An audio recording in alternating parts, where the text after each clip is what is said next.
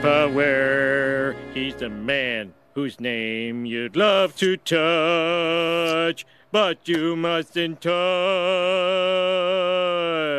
His name sounds good in your ear. But when you say it, you mustn't fear, 'cause his name can be said by anyone. Ah, Max Power. How's every little thing? You remembered my name! Well, who could forget the name of a magnetic individual like you? Keep up the good work, Max. Mr. Power, Yes, of course, Mr. Power.